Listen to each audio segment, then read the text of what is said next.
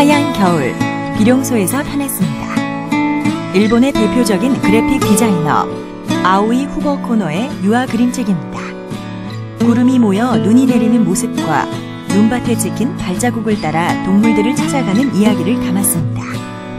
리듬감 있는 글과 세련된 그래픽 아트가 함께 어우러져 눈 오는 날의 즐거움을 생동감 있게 전하는 지브라 시리즈 2권입니다.